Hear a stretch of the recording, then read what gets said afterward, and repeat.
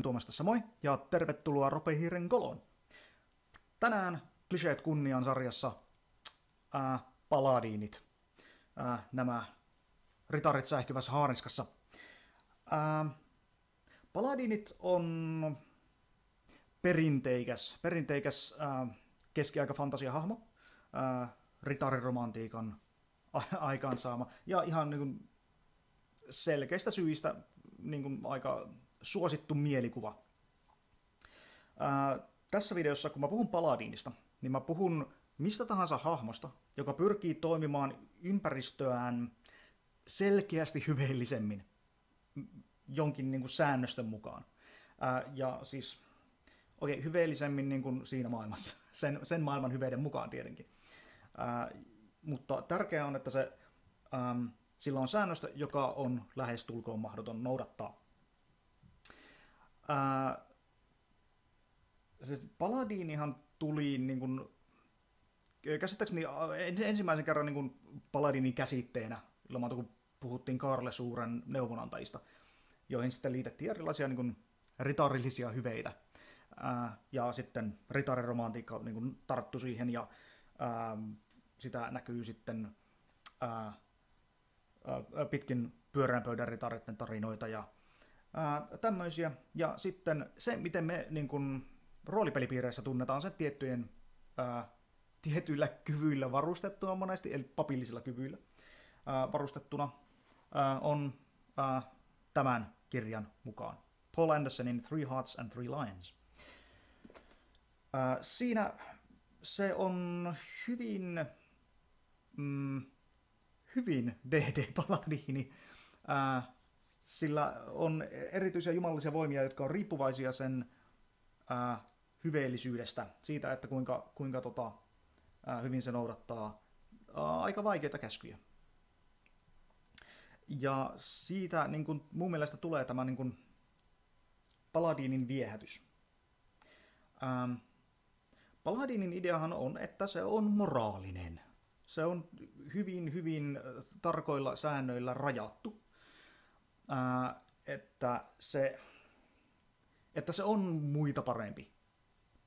Sen, sen takia, että sille suodaan, suodaan voimia sen, sen hyveellisyyden tähden. Ja tämähän on, aiheuttaa silleen niin kuin ongelmia, koska siis Paladinit on nyt on ihan sieltä niin Karle Suure legendoista asti, niin nehän on päähenkilöitä. Yksittäisiä. Ne ei ole ensemblea. Ne, ne, ne ei tota, äh, ole sille tasaveroisia muiden kanssa. Ähm, mun ensimmäinen kosketus roolipeli äh, Paladineihin oli Advanced Dungeons and Dragons äh, kakkoslaitoksen kautta, ja siellä ne oli vaan parempia kuin kukaan muu niin kuin lähitaistelija. Se oli ihan, ihan yber, ja sitten vielä oli, ää, sitä oli rajattu sillä, että no, sulla täytyy olla poskettoman hyvät statit, että ää, että pystyt olemaan paladini ja ää, sitten tavallaan palkittiin siitä, että on heittänyt korkeat statit sillä, ää, niin kuin, siten, että saa sitten hahmoluokan, joka on vielä kovempi kuin muut, mikä on, ei, ei hirveän, hirveän tota, ää, hyvä idea mun mielestä on niin kuin pelitasapainon ää, puolelta. Ää, sehän, miten sitä koitetaan sitten rajoittaa, että on, että on säännöstöjä, joilla niiden käyttäytymistä koitetaan rajoittaa, ää, että ei saisi, esimerkiksi säännöstöjä on monia, mutta esimerkiksi että ei, ei saisi kieltäytyä kaksintaistelusta, ää, täytyy osoittaa armoa, ei saisi niin kuin ryöstellä ja olla niin, semmoinen niin kuin stereotyyppinen luolasta komppaaja. Ja ennen kaikkea perinteisesti se on myös sitonut muita. Että kun on paladiini mukana, niin ää, tota, sen täytyy puuttua myös kavereittensa ilkeilyihin, mikä on aiheuttanut ongelmia sattuneesta syystä. Varsinkin jos ei ole sille ollut selkeää sopimusta siitä, että minkälaista peliä nyt ollaan pelaamassa, ää, vaan joku nyt heitti hyvät statit. Sillä nyt on pal- paljon karismaa, niin se päätti tehdä paladiinin ihan koska kerrankin voi. Ja sitten kun se koittaa toteuttaa sitä säännöstöä, niin se johtaa ää, niin kuin hirveäseen konfliktiin semmoisten hahmojen kanssa, jotka on oikeastaan vaan keräämässä kokemuspisteitä ja ryöväämässä paikkoja miettimättä sen kummemmin äh, seuraamuksia. Ja mä en tiedä, onko tämä, niin kuin, mä veikkaan, että tämä on yksi syy, miksi se on sitten niin kuin fantasiakirjallisuudessa vähän muuttanut luonnettaan ää, tämä paladiini. Ähm, koska semmonen hahmo pyrkii rajoittamaan muiden elämää. Ja sehän nyt on tälle meidän ää, niin kuin länsimainen liberaalisuus, niin se nyt ei sulata sitä, että toiset sanailee, että miten toimitaan, ja sitten, sitten päädyttiin tämmöiseen niin kuin, no, harmaaseen temppeliritariin. Sitä on semmoisellekin nimellä kutsuttu, jonka idea on se, että se on auktoriteettihahmo, jolla on jumalallisia voimia, jotka, jolla se käytännössä ää, vaan pyrkii tekemään muiden elämän ikäväksi. Että sillä on joku pyhä tarkoitus, ja se tarkoitus pyhittää kaikki keinot. Sille itselle ainakin. Ää, eli, eli se vähän niin kuin rullottiin mukaan semmoisen niin kuin häikäilemättö, se, se, niin kuin häikäilemättömyys ja tämmöinen, että se sitten tuli paljon vapaammaksi pelata ja on ehkä yhteensopivampi ää, erilaisten ää, mm, sanotaanko vähemmän hyveellisten ja ää, yhteiskuntavastuullisten ää, ää, moraalikäsitysten kanssa. Mutta mun mielestä ne ei enää ole paladiineja siinä vaiheessa, koska se niin menettää sen olennaisen jutun, mikä mun mielestä paladiinissa on, että sen täytyy olla hyveellisempi kuin se ikinä voisi olla. Eli se joutuu jatkuviin moraalisiin dilemmoihin, että sen pitää tehdä päätöksiä, että mikä on oikein ja mikä on väärin tässä tilanteessa – ja säännöstö niin kuin vetää moneen suuntaan ja ei oikeastaan voi olla täysin oikeassa ja joutuu tekemään, niin kuin, mahdollisesti joutuu tekemään kompromisseja tai sitten joutuu tekemään semmoisia niin vetoja, jotka niin kuin, jättää pahan maun suuhun. Ja se on semmoista niin jatkuvaa tasapainottelua, semmoista niin nuorella tanssimista, se koko ura.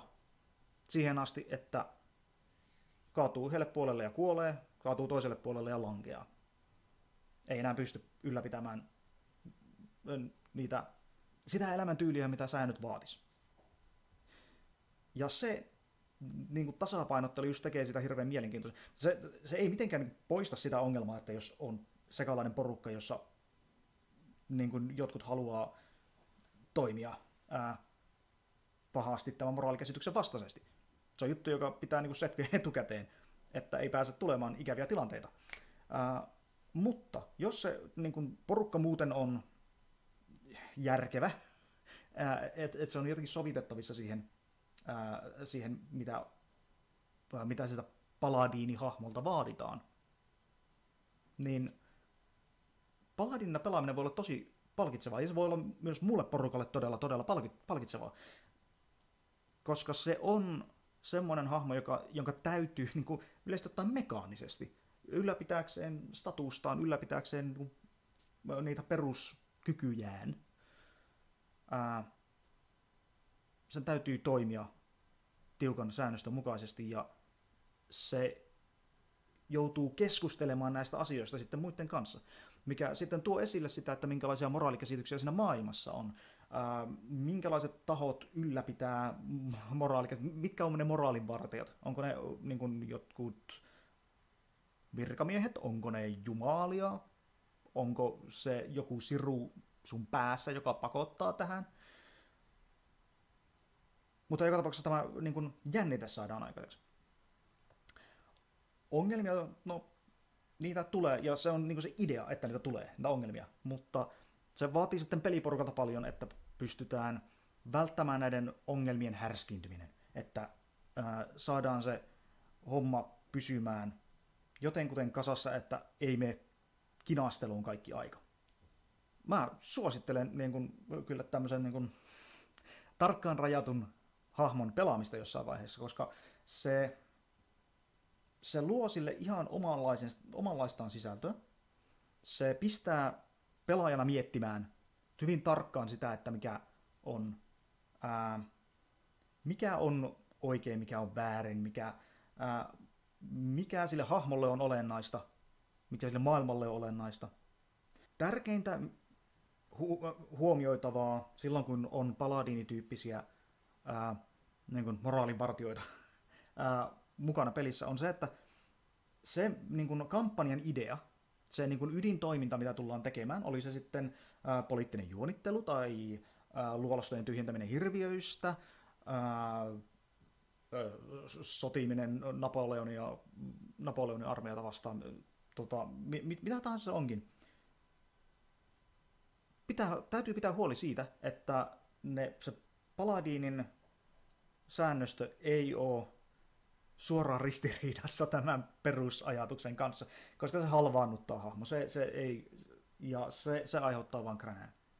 Mutta jos ää, säännöstä on, on mietitty sillä tavalla, että se ei ole suoraan ristiriidassa sen perustoiminnan kanssa, ää, ää, vaan, vaan ainakin sallii sen. Jos se jopa niin kuin yllyttää siihen, se voi olla vielä parempi. Ää, mutta jos se, toisaalta jos se on liian hyvä, hyvä, ää, hyvä yhdistelmä tämä niin kuin perusidea ja se paladiini, niin sitten se toisaalta vie paladinin ideasta aika paljon pois. Vie, vie nämä kaikki niin kuin ristiriidat ja tämmöiset, jotka on niin palkitsevia pelata. Mutta mä rohkaisen kaikkia niin kuin kokeilemaan paladiineja ja kaikenlaisia niin kuin, ää, rajoittavia hahmokonsepteja, koska niistä tulee tosi mielenkiintoista pelaamista. Ja jos, jos ei maita, niin sitten voi aina vaihtaa hahmoa. Se ei ole. voi pistää sen lankeamaan myös, sen paladinin, ja sitten siitä voi käsitellä ää, tätä traumaa, jos siltä tuntuu. Mutta hahmot on ohimeneviä. Niitä rakastaa sen aikaa, kun ne, ne on hallinnassa, ja sitten ne jatkaa matkaa, ja niin meidänkin tulisi tehdä. Mutta nauttikaa Siverin sipuleistanne ja kiitos katsomisesta ensi kertaan. Pelin henki olkoon kanssa.